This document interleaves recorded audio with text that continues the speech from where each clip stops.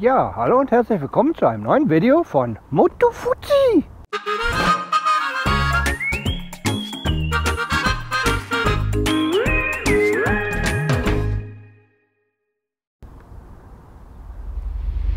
Ja, heute sind wir hier mal an einer anderen Location. Ne? Äh, und zwar, ich denke mal, das haben die hier noch relativ neu gebaut. Äh, dieses Eingangstor, das sieht zwar irgendwie sehr altertümlich aus, ist es aber nicht. Das ist nur auf alt getrimmt. Ja. Das ist das Eingangstor vom Aquapark hier in Torremolinos. Der, der ist zurzeit noch geschlossen. Ja, wäre schön, wenn man die ganzen Probefahrtbikes hier vor dieses Tor stellen könnte. Das sieht wirklich schick aus irgendwie. Ja, ähm, das ist das, was ich euch sagen wollte. Nein, es ist eigentlich noch mehr, was ich euch sagen wollte.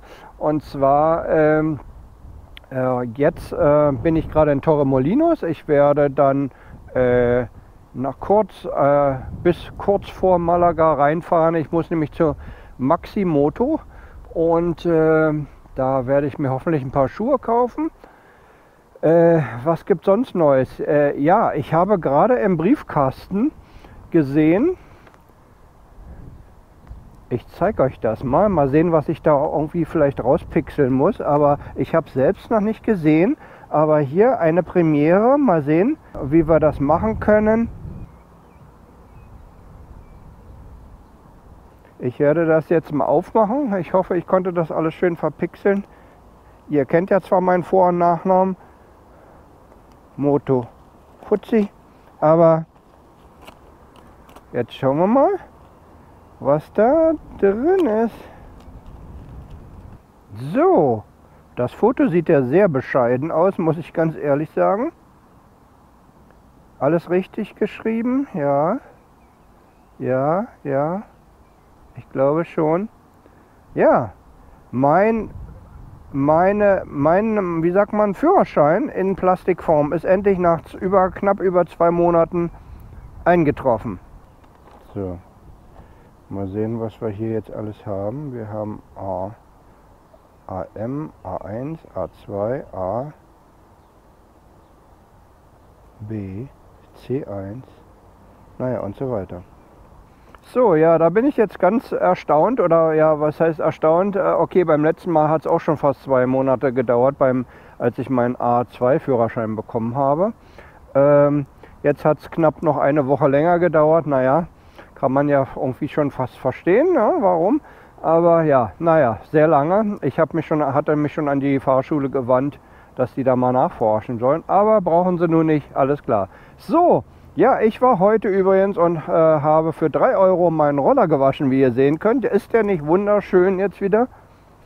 Und da ist mir auch gleich wieder was ganz Tolles passiert an der Waschanlage, also an diesem Hochdruckspritzgeschichte. Ja, so richtig schön ist er noch nicht geworden, aber das liegt auch teilweise nämlich an einem an einer Person, die mich da gestört hat. Und zwar äh, hat man ja, also zumindest hier, bei euch ist es wahrscheinlich genauso, hat man halt diese Waschboxen, so, da habe ich alles abgespritzt und so weiter.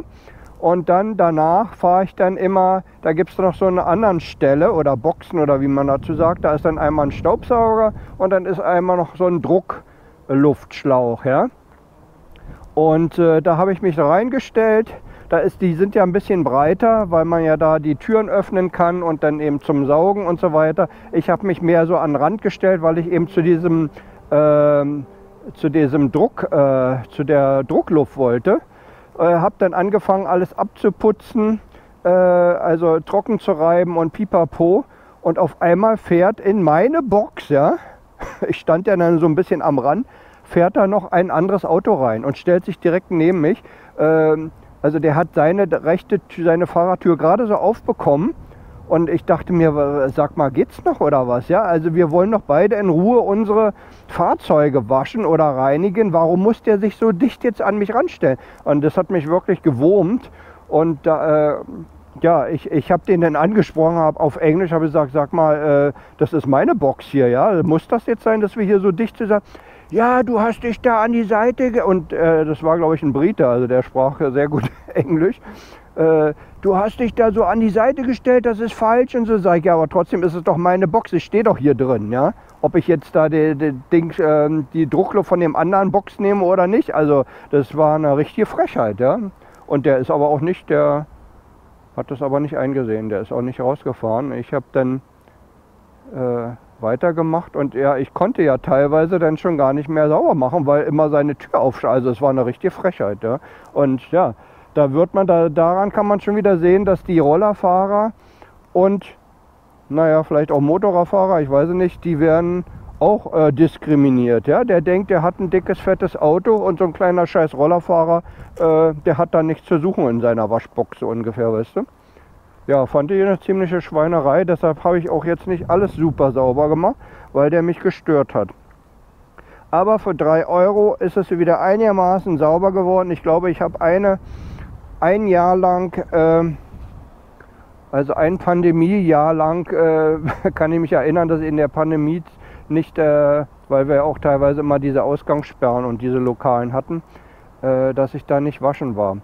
Äh, so, der ist jetzt wieder sauber, hoffentlich. Ich fahre ja äh, möglichst nicht bei Regen, dass er auch nicht so schnell dreckig wird.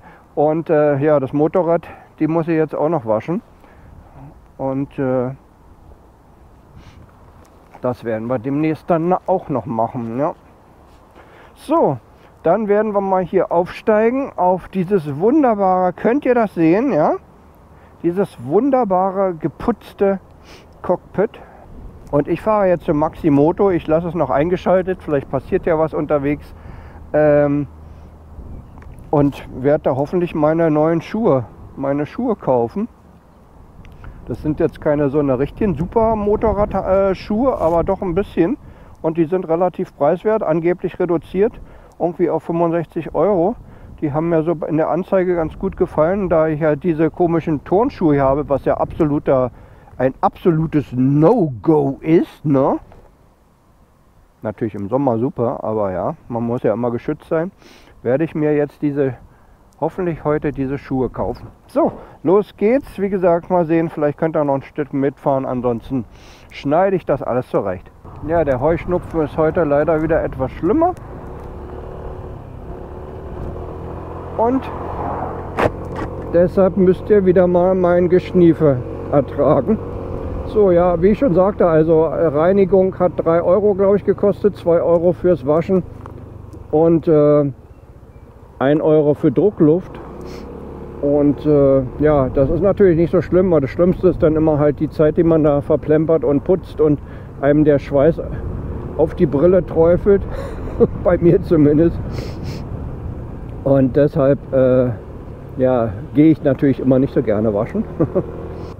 so, also ich weiß nicht, ob ihr diesen Maximoto kennt. Ich glaube, der ist ja auch schon mehr oder weniger europäisch jetzt. Das ist ja, ist ja so auch so eine Kette so wie XL Moto und sowas.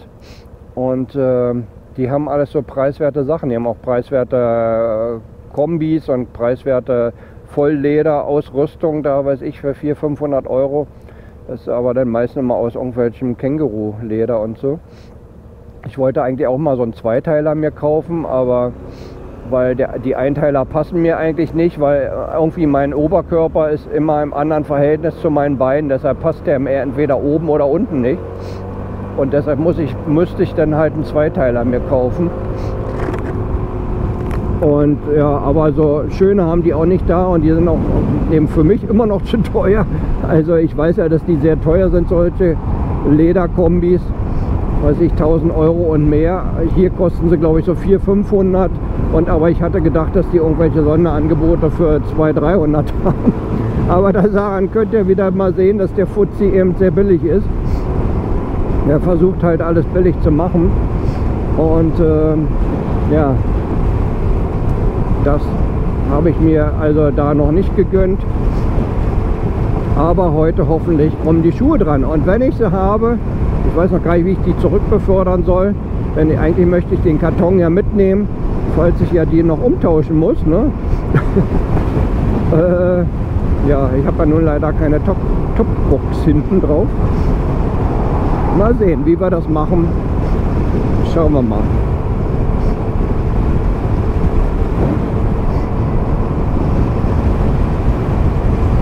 Ja, hier ist unser Ikea, falls ihr es noch nicht wisst. McDonalds, das ist alles jetzt hier am Flughafen. mehr oder weniger fast in der Einflugschneise. Ikea, was ist noch hier, sind noch einige andere, so ein großer, noch ein anderer Möbelladen, ein Elektronikladen und so ein Babyladen auch noch. Ich weiß nicht, was davon alles im Moment pleite gegangen ist. Aber Ikea gibt es immer noch. Ja, hier, wie ihr seht, ist die Einflugschneise vom Flughafen. Da ist ja auch im Moment nicht allzu viel los.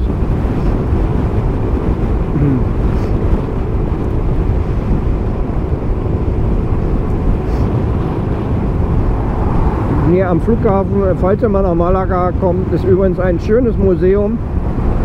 So mit Ausstellungsstücken auch draußen, ja, mit Flugzeugen, mit älteren Flugzeugen. Ist, äh, glaube ich, sogar kostenlos. Der Eintritt ist frei. Also man kann ja eine Spende dahinter lassen oder so. Und da war ich auch schon mal, ich habe auch schon mal ein Video gemacht, allerdings auf Englisch. Äh, könnt ihr ja vielleicht hier gucken, dieses Video. Und müsste man noch mal hin, also war eigentlich nicht schlecht.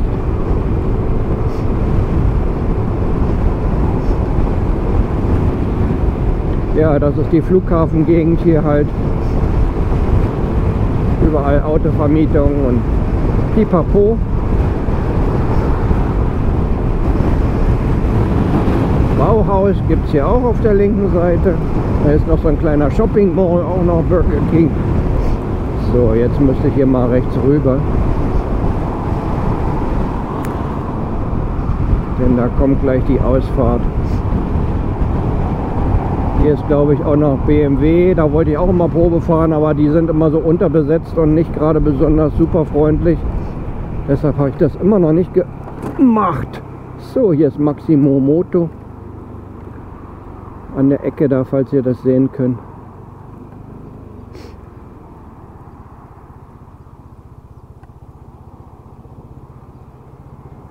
So, dann bin ich ja mal gespannt, ob sie meine Schuhe haben. So, dann werde ich jetzt euch erstmal hier ausschalten.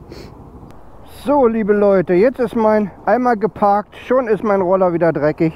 Äh, ich war gerade hier bei Maximo Moto und das sind ja wirklich, oder was heißt, das ist ja wirklich eine sehr liebe Person da drin, eine weibliche Person äh, mit Namen Annabelle. Ich, wir haben sehr gelacht und sehr nett. Und äh, ja, hier sind sie. Ich möchte euch mal meine neuen Schuhe zeigen. Schaut euch das mal an hier. Ich weiß nicht, ob ihr das sehen könnt jetzt hier. Ja. Ähm. Ja, also die sind sogar vorne verstärkt, da kann ja fast ein Gabelstapler rüberfahren. Und haben diese Schaltgeschichten hier. Und also eigentlich waren sie reduziert irgendwie von, keine Ahnung, über 100, 130 Euro oder was da bei Facebook stand, äh, auf 65, aber sie hat mir jetzt nur 45 berechnet, keine Ahnung. Äh, ja, eine sehr nette Person. Ich habe hier alle meine Daten bezüglich bezüglich meiner Kanäle gegeben. Die hat auch gerade, also das heißt vor anderthalb Jahren A2 gemacht, hat sie mir erzählt. Die hat nämlich ihre Suzuki da SV650 vorm Laden zu stehen.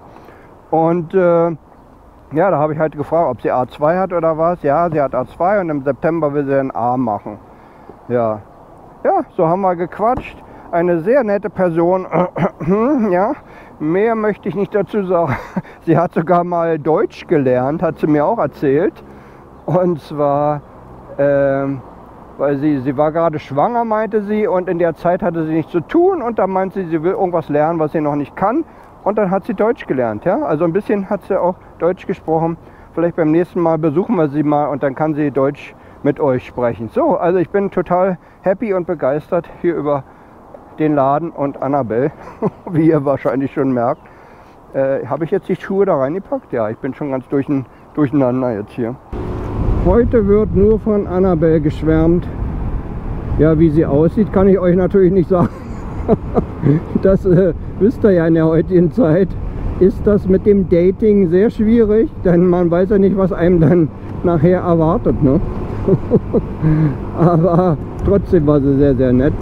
Ja, sie hat noch, wir haben noch rumgeflaxt. Äh, sie, ich meinte, ich kriege den Karton nicht auf meinen Roller rauf. Ne? Meint sie, ja, das ist Pech, dann kannst du das ja nicht umtauschen. Meinte ich, ob man das umtauschen kann. Da sage ich, ich habe eine tolle Idee, da du so nett bist. Du nimmst einfach den Karton leer und packst den wieder ins Lager und ich sag dir nach einer Woche dann Bescheid, ob, ob ich die Schuhe nehme oder nicht. Und ich nehme jetzt die Schuhe ohne Karton mit. Ja, und meinte, ja, dann machen wir das so. Echt total nett, die Annabelle, Mensch. ja, so. So viel dazu jetzt. Jetzt ist aber Schluss mit Annabelle. Nachher guckt sie sich hier noch mein deutsches Video an und hört immer ihren Namen. Das wäre mir natürlich auch ein bisschen unangenehm. Aber sie hat immerhin schon meine beiden Kanäle abonniert. Vielen Dank, Annabelle. Ja. Das ist sehr nett von dir.